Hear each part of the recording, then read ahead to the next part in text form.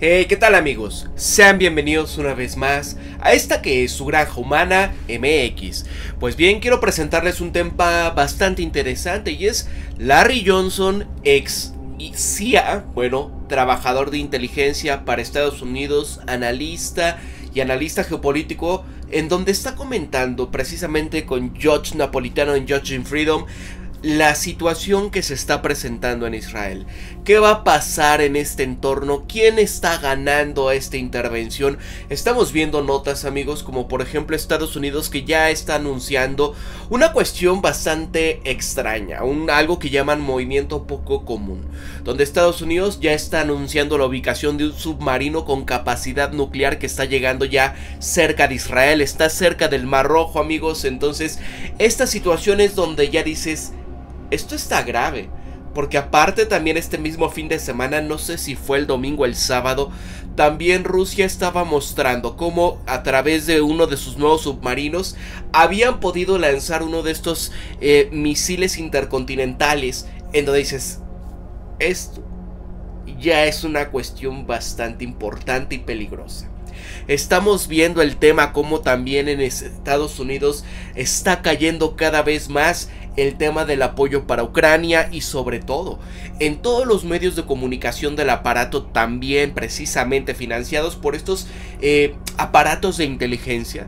Ya lo han estado sacando en sus medios de comunicación como la revista Time, como medios en el caso de The New York Times, CNBC y precisamente sobre lo que es Zelensky.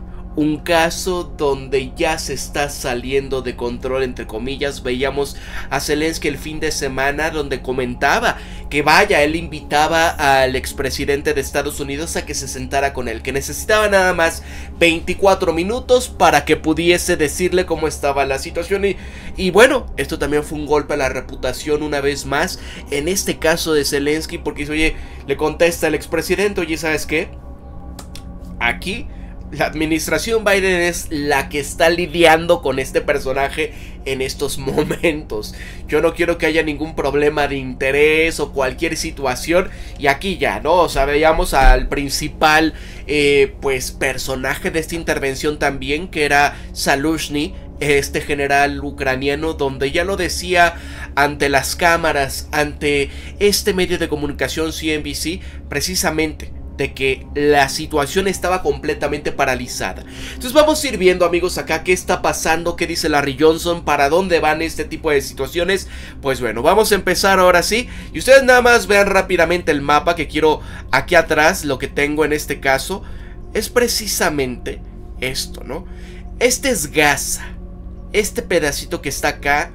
Y esto es algo muy importante para el tema de la geoestrategia. Son estos campos, estos yacimientos de gas natural tan grandes en donde pues viene el nuevo programa en donde les proponía una semana antes de que ocurriese la situación que vimos el 7 de octubre, donde Netanyahu mostraba un mapa donde no aparecía precisamente Gaza, no aparecía Palestina, y donde le decía precisamente a la Unión Europea, aquí está para conectar este tema en donde Estados Unidos lo que quiere hacer es cambiar el tema de la ruta de la seda china, el que en este caso Israel se beneficie de entregarle energía a Europa, ¿no? Aquí está. Este es el estrecho de Gaza, este es el norte donde están ocurriendo muchas de estas situaciones y vaya, vamos a ir viendo, miren acá. Bienvenido Larry Johnson. Antes de que vamos a las últimas este, de Israel y de Ucrania, déjame preguntarte nada más. Quiero preguntarte algunas cosas sobre Ucrania. Y es que el general Saluzhny, el tan respetado comandante militar, dijo que la guerra ya estaba estancada. Y el presidente Zelensky, vaya, soltó humo, ¿no? Echó humo de enojo. Porque, ¿para qué demonios decía eso y por qué lo decía, no? O sea, ya muchos no nada más es el general Salushny, sino personajes cercanos, decían los medios de comunicación estadounidenses, que comentaban muy cercanos a él, decían es que está prácticamente en una alucine, no sabe eh, cómo está la situación, ya si su principal general ha estado comentando esto, prácticamente la intervención de momento, pues no es que en el mejor de los casos se puede decir estancada, pero técnicamente esto ya no hay un avance, ¿no? Entonces ya están comentando muchos otros medios de comunicación donde se debe de acelerar el paso hacia la paz en este sentido, hacia una cuestión donde, pues, ¿cómo le van a hacer? Y, Zelensky diciendo, no, sí, vamos a ganar, pero denos más dinero, ¿no?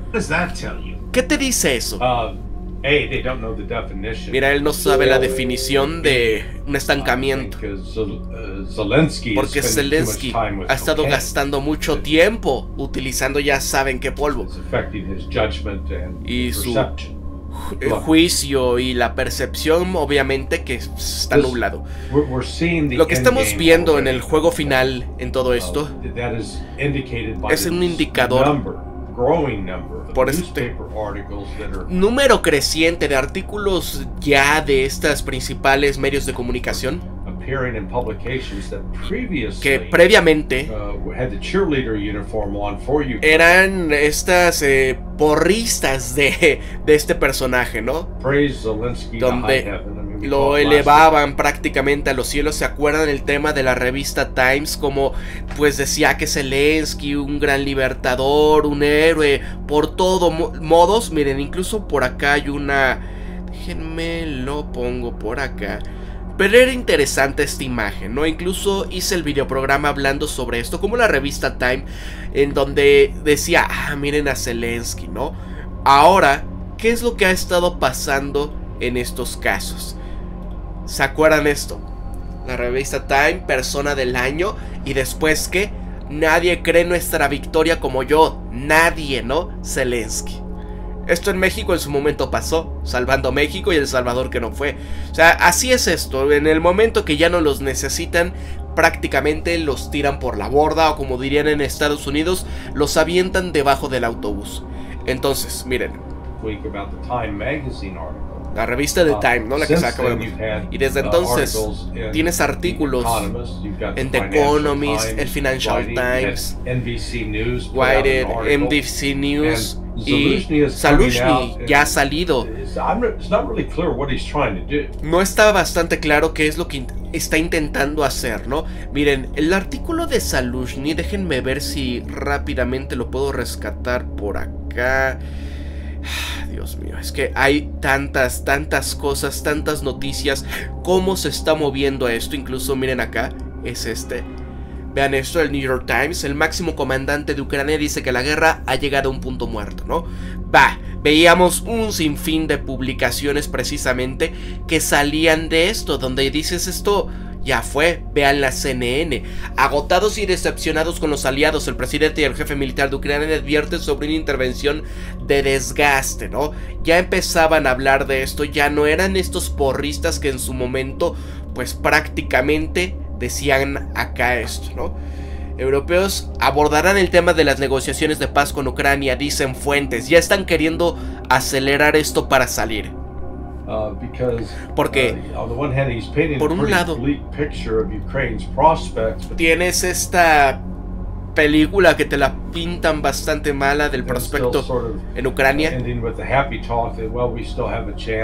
Y donde de repente como que tratan de eh, terminar con una charla feliz de que todavía tenemos alguna oportunidad.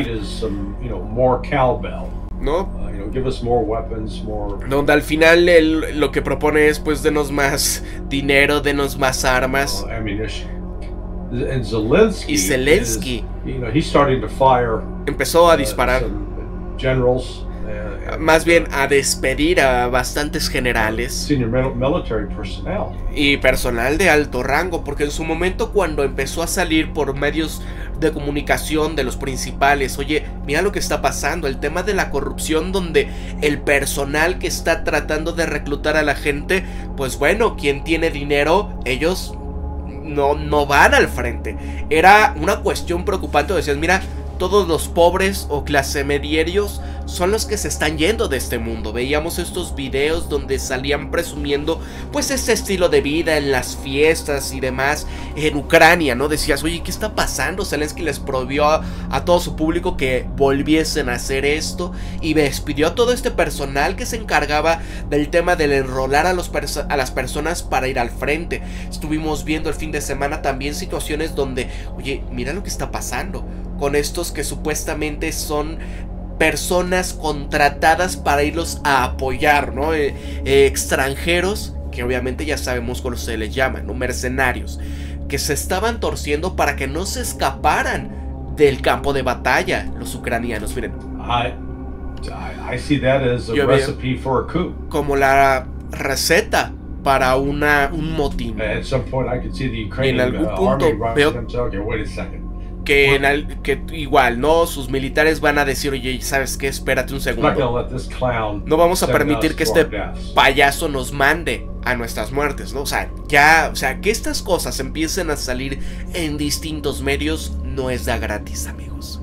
El tema Zelensky está a punto de llegar a su final. ¿Se acuerdan ese meme donde ponían a Muammar al-Gaddafi, a Saddam Hussein, a Bin y todos estos personajes que en su momento habían sido pues elevados, eh, fueron personajes que Estados Unidos había entrenado, había financiado, los había puesto como grandes luchadores por la libertad y después eran el coco, ¿no? Y los tiraba por la borda.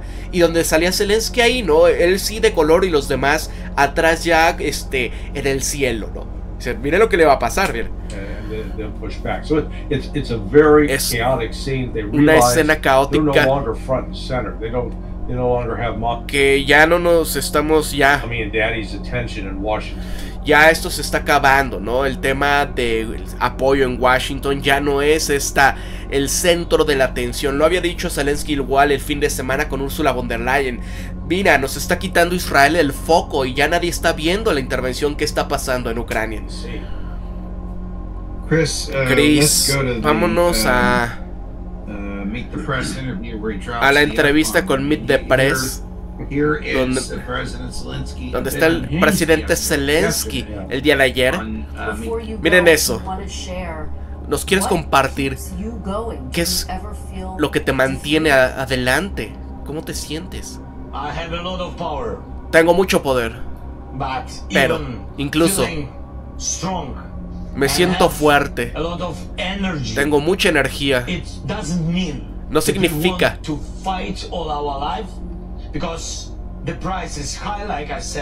que quieras seguir peleando todo por ti solo porque el precio es bastante alto. Y la intervención por la democracia está tomando a los mejores de nosotros.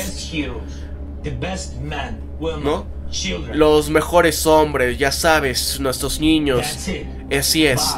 Pero no estamos listos para dar nuestra libertad a este. Ya saben, le dice una grosería de bad hombre a Putin. Así es. Eso es con lo que estoy peleando. Es eso, ¿no? Y vean la cara, ¿no? O sea, luego, luego se le ve que es alguien que consume. Miren. Suena uh, como el reporte de NBC que acabas de verlo en la entrevista. e donde altos este, oficiales ya han dicho que hay que negociar. Y algo que no ha resonado bien en él vaya parece que ya está alucinando ¿no? Mira, no lo está aceptando.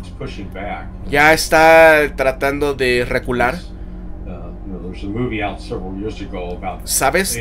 Hace unos años sacaron una película donde salía Adolf Hitler en, su momento, en sus últimos momentos antes de la caída en Berlín.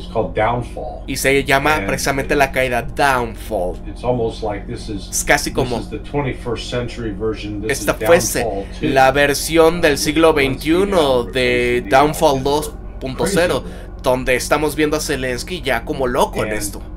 Y este es está completamente fuera de la realidad con lo que está pasando en Ucrania en temas militares, donde no están avanzando, donde no está teniendo el poder de hombres, es decir, a los soldados suficientes, porque pues bueno, como decía aquí Scott en su momento, o sea, llevan ya prácticamente tres ejércitos que se han estado yendo de este mundo. El primero que entrenaron desde 2014 hasta 2022. Ese ya se acabó.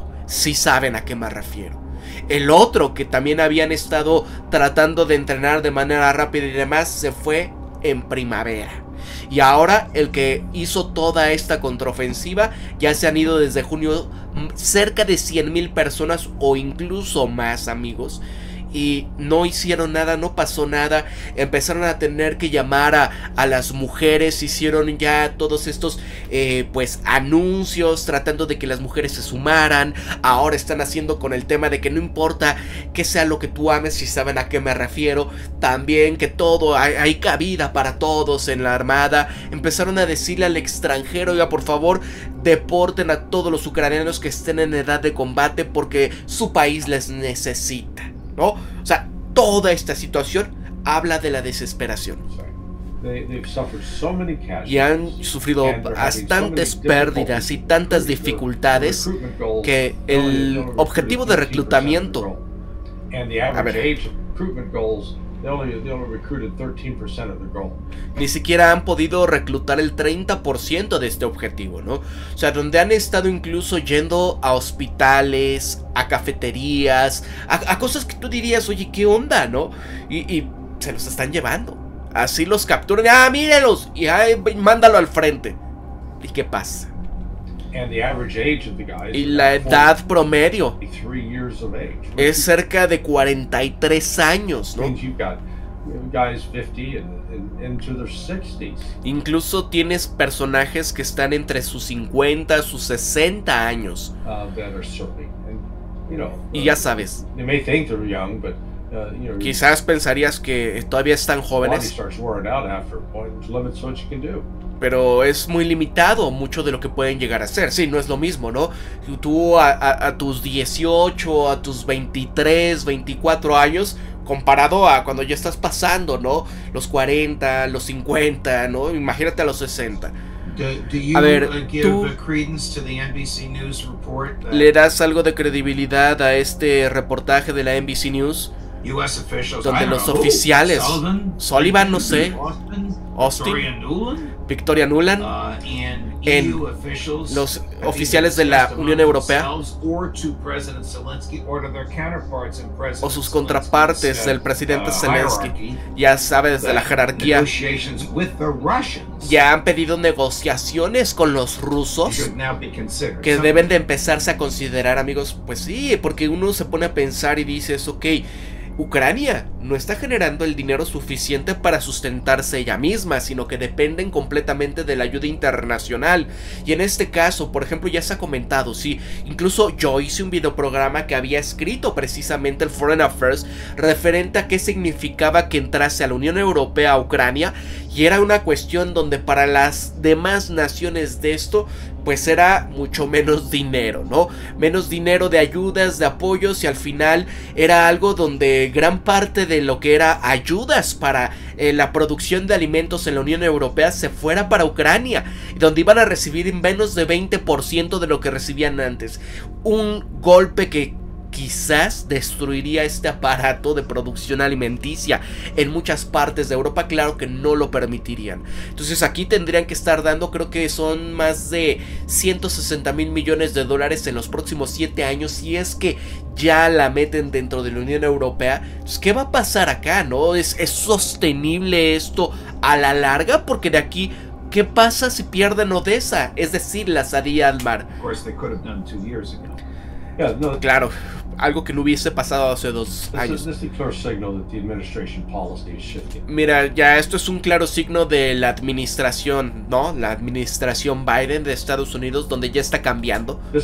Este es la gente que escribió esto para la NBC News. No es como que se levantaron una mañana y dijeron, oye. ¿Qué voy a escribir ahora? Hey, mira, vamos a hablar de las posibilidades de las negociaciones. No, eso no, para nada pasó, sino que están en contacto sea alguien que está trabajando para Anthony Blinken, el secretario de Estado de Estados Unidos, o Jake Sullivan, donde dicen, ¿sabes qué? Esto es lo que está pasando y este es el estatus que se está jugando. Y ¿sabes qué? Pon a trabajar a alguien de tus hombres en esto. Y obviamente la NBC News felizmente tiene que saltar para esto. Así que cuando empiezas a ver este tipo de historietas, ya sabes, es cuando estás viendo que hay estos oficiales de la administración, usualmente sin nombre, pero que están diciendo estas cosas muestra que la dirección de las políticas ya están cambiando. Y esto de manera dramática. A ver, Zelensky, si él se va, ¿qué, qué va, ¿quién va a tomar el control? ¿Un moderado o un nazi? Mira, esto va a depender de cómo va a suceder, ¿no? Así que si hay una especie de un golpe de estado militar por el tipo, ya sabes, puede ser Salushny. control of the government by the Azov Mira, yo dudo que esto vaya a ser como una tomadura del control del gobierno por el batallón Azov, que son con sus elementos neonazis. Um, Pero, digamos, que Zelensky prácticamente se está manteniendo en la línea de la vida y está temeroso que si él muestra cualquier inclinación hacia las negociaciones con Moscú, uh, es en el momento en donde estos grupos extremistas pues se lo torcerían. Así que esto es algo muy preocupante. Uh, Cuando vemos que Occidente sigue mostrando alguna especie de clase de apoyo donde vimos, por ejemplo, a la jefa de la Comisión Europea, ¿no? En este caso, Ursula von der Leyen. Pero el volumen de las armas que han estado llegando se está ya prácticamente hundiendo, ¿no?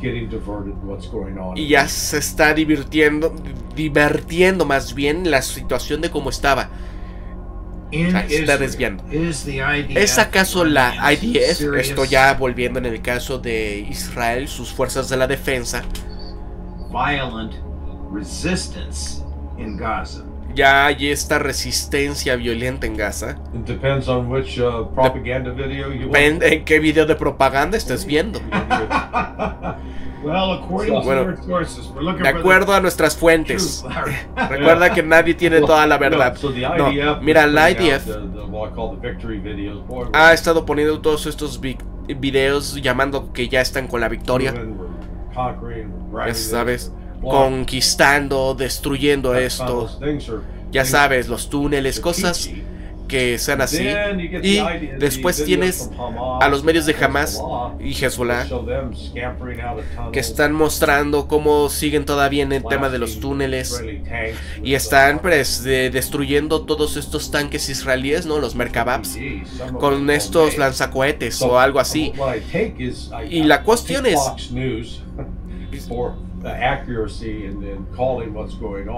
yo no este, tomaría como algo totalmente eh, certero cosas que salen, por ejemplo, en Fox News y demás.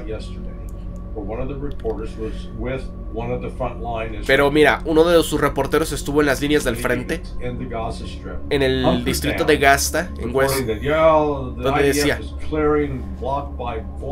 apuntando cómo la IDF estaba limpiando bloque por bloque donde decían, bueno, tuvimos este ya una docena de pérdidas, ¿no? de, no, de unas decenas de docenas perdidas, ¿no? Sí, imagínate que tengas ya 150 personas que perdiste. Cuando te estás moviendo por las calles, Y no digas, bueno, ya son un 10% de, de, de bajas, ¿no? Mira, ya en un reporte de esta mañana dijeron que ya se perdieron cerca de 313 personas, ¿no? Personal de la defensa israelí. Uh, ya se fueron de este mundo. ¿Es que eso algo significativo o simplemente una anomalía? Claro que es significativo. Porque mira, si volvemos un poquito atrás en el tema de la guerra, de la invasión del sur del Líbano, en 2006, cerca de unas 2.300 personas se fueron de este mundo muertos en acción en esa operación, en toda la operación entera. Y esto ya está yendo directamente a algo similar. Y sabes, francamente, porque en esos momentos creo que fue Hezbollah el que les ganó a los israelíes. Y mira, no tenemos ni siquiera ninguna cuestión de qué es realmente lo que está pasando en la ciudad. Más que estamos viendo que dicen que Israel continúa con sus estos eh, pues ataques aéreos. Y ellos lo que dicen están ya este, acabando con tropas de Hamas. Pero lo que vemos en los videos y las imágenes es un sinfín de pequeñitos, de civiles que se están yendo de este mundo. Y eso tiene el efecto que está encendiendo cada vez más los, eh, los ánimos de la gente alrededor de todo el planeta incluso también dentro de los Estados Unidos. Uh, Mira, cuando vemos estas IDF, a las fuerzas de la defensa israelí, mostrando lo que estaban estando utilizando aquí este hospital, ¿no? Como un lugar en el uh, cual jamás estaba disparándole a los soldados israelíes. Yo no sabía si había pacientes en este hospital, pero ¿hay acaso uh, alguien fuera de Israel y los Estados Unidos uh, uh, están aceptando lo que dijo el presidente Netanyahu de estos civiles que se están yendo de este mundo en Gaza, que son, pues bueno, los costos de la guerra? No, absolutamente nadie. No, no, no está pasando. Y mira, incluso en un eh, video donde estaba el paso del tiempo, Washington DC, donde estaban las protestas este sábado, y es asombroso. Hay cerca de 300 mil personas por lo menos. Incluso aquí amigos, el día de ayer hubo también otra situación donde se llenó el zócalo de personas apoyando a Palestina, ¿no? Entonces, estamos viendo, imagínate todo ese tamaño de este público reunido. Y mucha de la gente del público estadounidense no ha estado viendo estas imágenes. Pero lo que estamos viendo, que está sucediendo alrededor del mundo, y donde jamás ha estado bastante bien en este caso estando produciendo su propaganda. Y mira, no, no, yo no lo llamaría propaganda o mentiras, ¿no?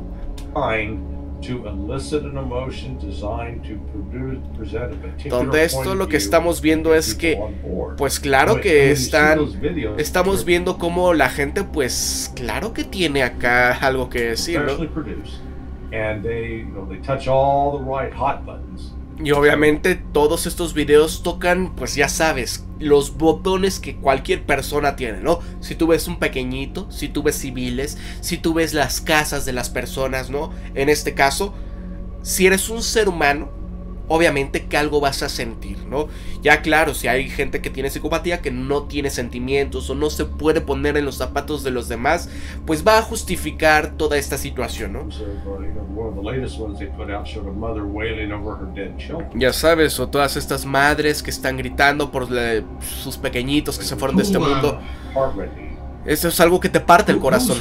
¿Quién está ganando la intervención de propaganda? ¿Jamás o Israel? Uh, Yo diría, obviamente, que jamás.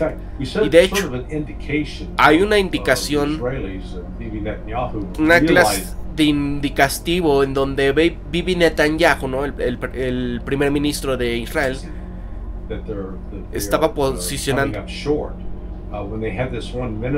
donde tenían, mira, que esto tuvo que hacerlo de manera rápida, donde este ministro de su gobierno el otro día, en una entrevista de radio, decía, sí, sí, podemos, ya sabes que, estarle echando una nuclear a, Gaza, ¿no? Oh y Dios mío, ese es el personaje que está hasta allá, ese tipo. donde la reacción del mundo entero fue bastante rápida y fuerte y de condenación, ¿no? O sea, muchos decían, oye, ¿qué está pasando? Esto es una violación al derecho internacional, o sea, ¿dónde está? Porque si Estados Unidos este, no permite este tipo de cosas, ¿no? Y miren qué pasa acá, ¿no? Didn't he didn't wait you know 30 minutes where he was out saying oh that's that's crazy that's crazy talk but he didn't fire y mira, ¿no? Este sí, ya lo despidieron. No salió diciendo que esto estaba. Este. Fue una locura y demás, pero sí lo despidió. Porque inmediatamente los saudíes ya pusieron a este primer ministro ya condenando estas palabras. Porque imaginen eso, amigos. O sea, en una nación donde están dos millones de personas y, y que quieran utilizar esto ¿Sí o no es una locura? O sea, ¿qué, qué dicen? Ay, es que ahí está este Vladimir Putin y sus instrumentos nucleares, o en su momento este Saddam Hussein, o, el caso de Norcorea en estos momentos, ¿no? Bueno, vean lo que tienen allá. Y ya sabes, escuchaba la semana pasada, hace unas pocas semanas, donde estos oficiales estadounidenses y sus asesores estaban diciendo, bueno, bien, sí.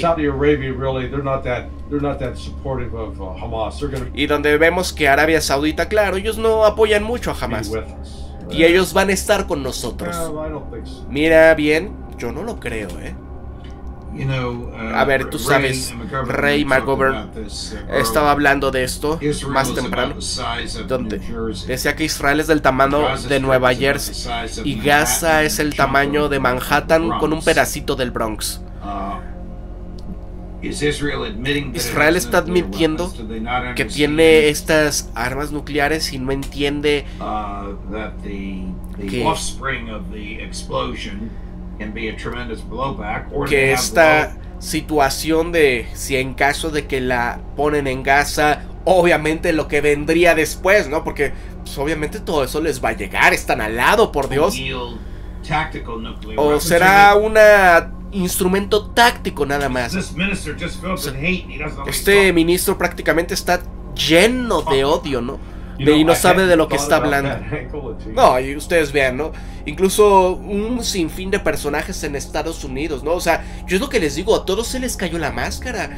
Mucha gente que decías, bueno, estos son más moderados, estos no, no van a ser así como en el caso de la actual administración. No veíamos a Nikki Haley diciendo, sí, que les den con todo, que los acaben, que hay que atacar Irán. ¿Se acuerdan el caso también de este...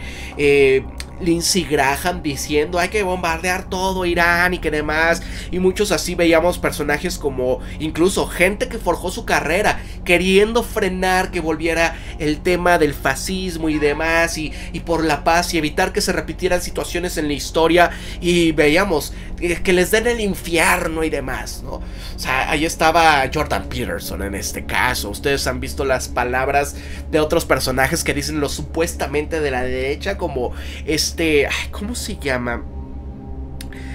Que igual trabaja para el mismo medio de comunicación de, de este Jordan Peterson, ¿no? Y, y donde decías, oye, ¿qué demonios? Con toda esta gente que se decían los basados, los que eran anti-woke y demás y que no querían guerra y ahora con esto completamente estamos viendo como, pues bueno, incluso hasta Bernie Sanders, ¿no? Que supuestamente pacifista, de izquierda, pseudo comunista y que no sé qué. Aquí, no, sí, es que no puede haber cese al fuego y que tienen que acabar con él. O sea, Dices, demonios, todos, todos, todos al unísono en este sentido. Just said it. That was a tacit admission that Israel has nuclear weapons. Y vaya, esto que está haciendo Israel es la admisión de que sí, efectivamente cuentan con estos instrumentos de democratización masiva. they've been, uh, you know, loath to admit Y que, vaya, esto no lo han admitido, pero claro, desde hace mucho. Y él no- puede admitir porque bajo la visión estadounidense y su ley no podemos proveer asistencia militar a otro país que tenga instrumentos nucleares. ¿Y acaso no sabe eso, verdad? Claro. Mira.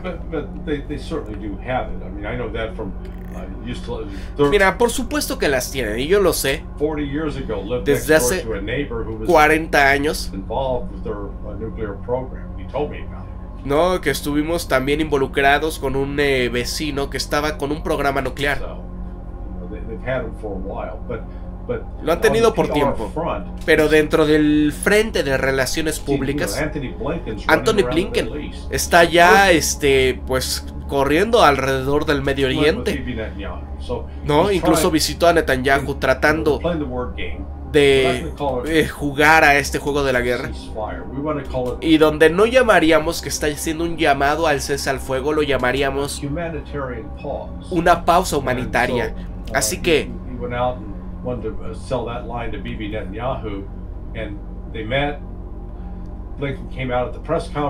y donde, mira, sí, se reunieron y cuando salieron de la conferencia de prensa, este Anthony Blinken y este Netanyahu, Netanyahu wouldn't be standing there alongside him. y ya Netanyahu ni siquiera estaba parado a su And lado.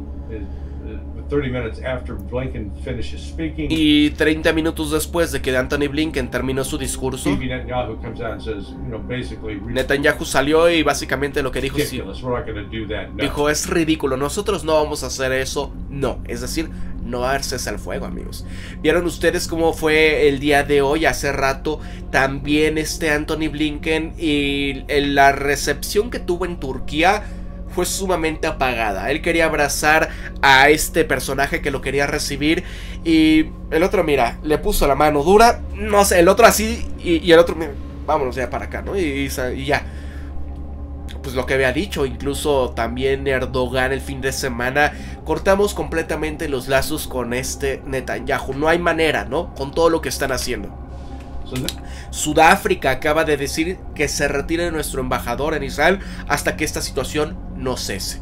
Colombia, eh, Bolivia, me parece que Chile también ya está llamando al suyo para, pues por esta situación. O sea, ya la cuestión internacional, todo esto, Israel acaba de perder tantas décadas de haber construido y forjado una fachada donde eran pacíficos y, miren, se cayó. Blinken goes over to Amman, Jordan. He's there. He, Y Blinken también ha ido a Jordania, ¿no? Donde Jordania decía también lo mismo. O sea, si mandan a- aquí a esta gente eh, al desierto y demás, esto va a ser una declaratoria de guerra para nosotros. uh, Donde el rey Abdullah y su ministro de Relaciones Exteriores Y el de Egipto, uh, Emirates, el de los Emiratos Árabes Unidos, Arabia, Saudi. Arabia, And you know, he was trying to buy them off to say, okay, ha tratado de ir con ellos, comprarlos.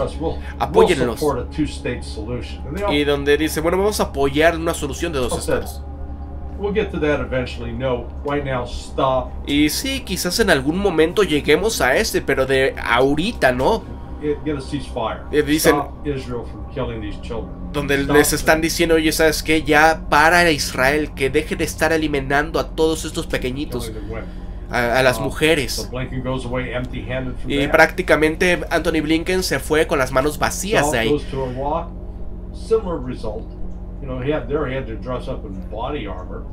Este, fueron a, creo que fue a, no me acuerdo que que ahorita que, pero sí salieron las imágenes donde estaba Anthony Blinken con todos estos chalecos antibalas pesadísimos, ¿no? En Irak. money spent over those years. You Y donde, oye, mira todos los logros que hemos tenido en Irak, ¿no? Con todos estos años. Y bueno, Then estaba ahí con todos estos este, chalecos antibales. so, uh, Y no salió con nada. Uh, Y prácticamente en todas estas capitales árabes en las que se está yendo a parar y demás, inept leadership at the Department of State. lo que estamos viendo es este inepto estado de nuestro Departamento and de the Estado y, overall lack of vision y la falta de front. visión en el frente diplomático de Estados Unidos. So his his Así que diplomacy su is diplomacia está fallando. ¿Cuál es el objetivo de Biden? Support El apoyo incondicional de Israel significa las palabras que ellos se refieren, donde el presidente de Estados Unidos uh, está proveyendo todas estas armas estadounidenses para eliminar uh, a estos civiles inocentes. Y que para que sea reelegido, No, él está jugando en ambos lados. y no está haciéndolo muy bien, un muy buen trabajo jugando de ambos lados. First, the, the initial response was, "We're with Israel." Y donde sus primeras palabras son, estamos con Israel, 100%. estamos al 100% con ellos, tenemos tu... tu- entonces tenemos respaldado. Y donde si dices que lo tienes respaldado, en lo será mejor que tengas mucho cuidado, porque tienes que vigilar tu hombro. Pero después, Vemos a Anthony Blinken ya yendo por allá y mandando este mensaje del tema de dos estados. ¿no? Sí, estamos ya aquí para esta solución. Eso es lo que queremos. Y claro, muchos de los que apoyan a Israel en los Estados Unidos dicen que No, No, debe de haber eso. No vamos a respaldar eso. Así que tenemos a la población Árabe, porque pues saben, ¿no? O sea, no hay manera, es imposible que Estados Unidos y todos estos estados se unen, por lo menos Hezbollah e Irán, no hay manera de que puedan defenderse, ¿no? Aunque utilicen instrumentos de democratización masiva, es imposible que pueda subsistir, porque es lo que dice Scott Ritter, o sea, todo lo que tiene Hezbollah, si todo lo lanzan, no hay manera, ¿no? Porque es muy pequeñito en este caso, donde están los centros industriales, civiles, a diferencia de la pequeña porción que representa ese estado, ¿no? Eh, es muy poquito, y con eso lanzándole todo lo que tienen, no hay manera. Y están muy molestos con la administración de Biden, por lo que ven que está facilitando la eliminación de todos estos inocentes. Y ahora vas a uh, tener más uh, de Las eh, cuestiones de presa que están también muy molestos con Biden porque uh, está minando a Israel en sus momentos de necesidad. ¿No? O sea, es algo difícil. Um, A ver, aquí está. um, Secretary Blinken. Secretario Blinken tratando de explicar esta eh, situación de una pausa para que haya ya la ayuda humanitaria. Reafirmamos el derecho de Israel y la obligación y necesidad de hacerlo y que necessary steps so that October 7th can never happen again. que los pasos después a seguir es para que lo que ocurrió el 7 de octubre no vuelva a ocurrir. Pero también es muy importante the way Israel does it. la manera en la que lo hace Israel. Y what we've talked to the Israeli government es por lo que hemos estado hablando acerca de con el gobierno israelí uh, para tomar toda posible medida para proteger a la vida humana y prever las víctimas as civiles, también como asegurar que aquellos que tengan la necesidad tengan la asistencia que necesitan. Y estamos muy preocupados acerca de la cantidad de civiles en Gaza y mujeres y niños. Vean la, vean la cara, ¿no? ¿Ustedes qué ven ahí en este hombre? Vean la, la, la cara que tiene como que si no hubiese dormido en mil años, ¿no? uh. Uh, Estamos trabajando En conjunto para que ellos tengan la asistencia. But it's also one of the reasons why No, porque pues bueno, ya, o sea, ustedes vean el mundo. No, no hay una manera en donde digas, oye, ¿quién está ya diciendo, oye, si es que es justo y justificando esto que estamos viendo es día a día, amigos? No, no es nada más de que solo fue un día, un fin de semana, esto es diario. monitoring pause would be so important. Para que haya una pausa, es muy importante asegurarnos la maximización de la ayuda a los palestinos y asegurarnos de que se tengan seguridad y puedan llegar a lugares donde lo vayan a estar y asegurarnos. ¿no? Y, y había otro donde igual estaban el fin de semana eh, yendo para la carretera, estaban yendo a donde les dijeron que se movilizaran y bueno, les llegó democracia desde el cielo, ¿no? Y ustedes vieron las imágenes. Y que se puedan reconstruir las estructuras. Y se beneficien ahí, ¿no? You know, he's trying to walk such a fine line, Larry. Mira, creo que trató de estar estrechando una línea muy delgada, Larry, donde todo mundo condena la eliminación de inocentes. Y sin importar que sea Hamas o los israelíes o los militares israelíes eliminando a los palestinos. o sea, es- who's 110% behind uh, y donde él tiene su posicionamiento 100% detrás de los israelíes. y sobre uh. Él entiende He's el corazón humano y el sufrimiento. uh, Y ojo, volvamos con lo que decía el rey de Jordania. En público. No sabemos con quién se reunió en privado, donde se veía y sonaba terrible inseguro. y sin este, pues, adecuado descanso, ¿no? No había dormido. Sí, claro. Uh.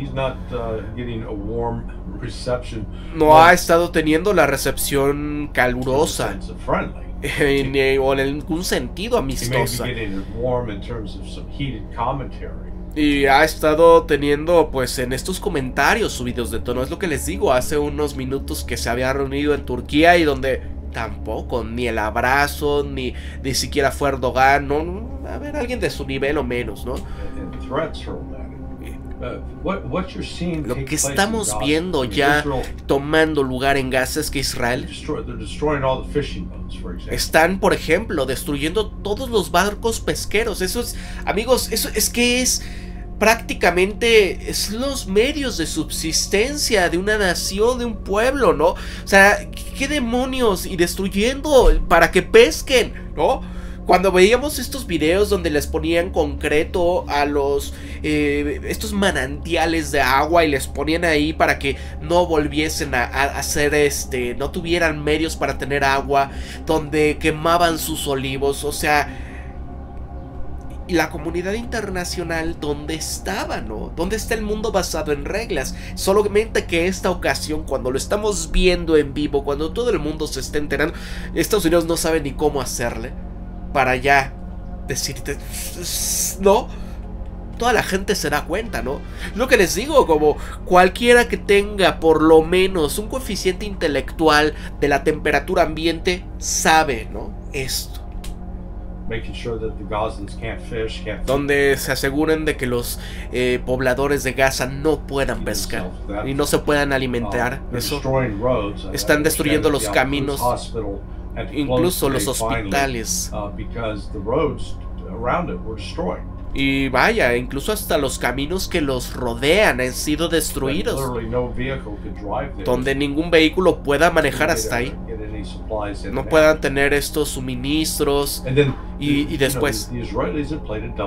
Los israelíes están jugando al doble juego, oh, donde le dicen a toda esta gente, oye, evacúen todos del norte y váyanse al sur. Hacen eso. Y cuando están viajando, pues bueno, es cuando les disparan. O sea, amigos, no es que se, alguien se lo esté inventando. Esto está sucediendo por Dios. Y, y- digo por Dios, y es que existe. Porque ven lo que está pasando. ¿Y quién les dice algo, no? Y se los. Y dicen la gente, los residentes de Gaza, pues no importa dónde vayamos, porque pues al final, ¿qué pasa, no? Nos van a poner como objetivo, como blanco. Y mientras tanto, la gente está uh, ignorando que Hezbollah está incrementando ya en la base diaria el lanzamiento de cohetes.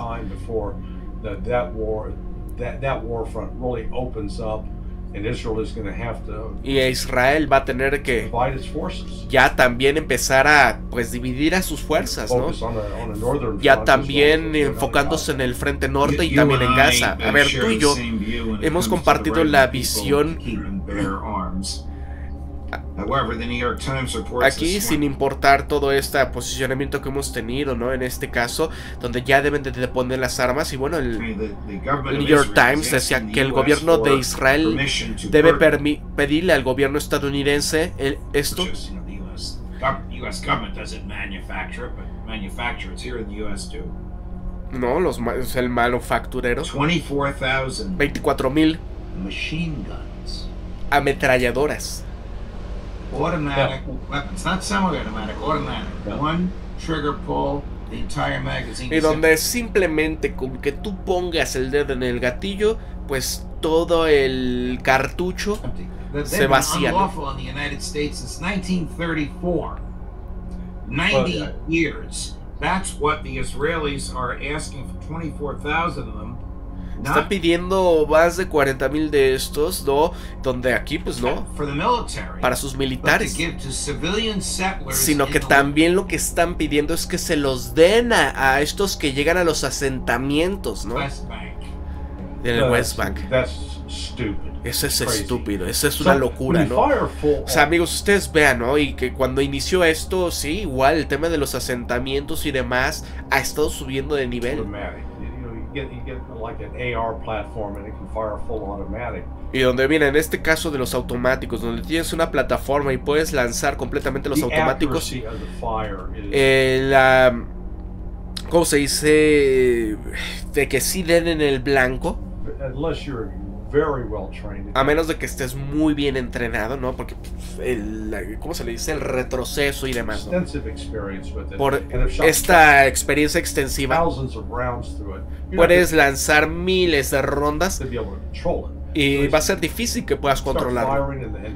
Muzzle, the front of the muzzle raises up. Y donde Right. vas a ver que, pues, obviamente, donde salen las balas, pues va a estarse elevando y demás. Y Dios sabe a dónde van a terminar estas balas. That's number one. Y eso es número uno. Passing these out to civilians. Y esto va a pasar a miles de civiles. This, this is nothing but emotional feel good. Esto es más que nada, pues, una situación muy emocional de. Que es sin sentido también. ¿no? Y esto de pedir estas armas completamente automatizadas, ¿no? Automáticas, es una... es una cuestión estúpida en la guerra. Porque son muy difíciles de controlar. Uh, Y lo es mejor tener estas armas semiautomáticas AR-15. Fire off two or R15 three rounds under que van lanzando dos o tres este, balas Y That's donde pueden eh, de facto sí golpear al objetivo. y ese es el punto de ello, ¿no? Y es interesante ver este público. uh, porque ah, es lo que está sintiendo los israelíes y el, el departamento de estado en la noche del viernes donde nadie estaba en el pueblo viendo esto donde le estaban lanzando ya le estaban avisando al. Congreso que no necesitaban el permiso del Congreso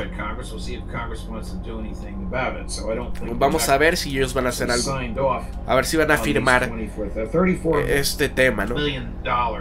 Donde están queriendo también lanzar 24 mil millones de dólares 24,000 machine guns. I didn't even para todas estas, este, ametralladoras.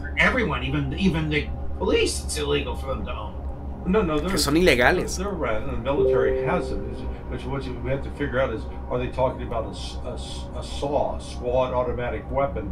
which- Y bueno, ¿cuál es la fuente? ¿Qué, qué tipo de arma which, automática? uh, is one of the quote machine guns, uh, you know, fully automatic uh, completamente automáticas o firearms that the U.S. military uses. Que el- usan nuestros militares. O si están hablando de que les bondamos estas completamente M4, automatizadas AR-15? de las fuerzas. So, quite a Así que- a lot of times it's just people use the terminology wrong. Donde ya es un tiempo donde la gente utiliza la terminología de manera incorrecta o están hablando de que quieren ya construir estas grandes ametralladoras. Imagínense de las que sean de calibre 50, ¿no? O sea,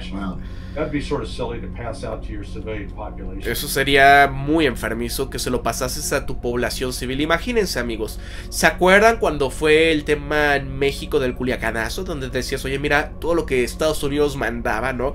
Y veías estas camionetas que tenían sus ametralladoras de calibre 50, con lo cual pueden tumbar aviones, helicópteros, ¿no? O sea, es una balota, amigos. Entonces, esto, y en población civil, imagínense, y si se quieren apropiar de la tierra, because the weight of it alone is difficult to cart around.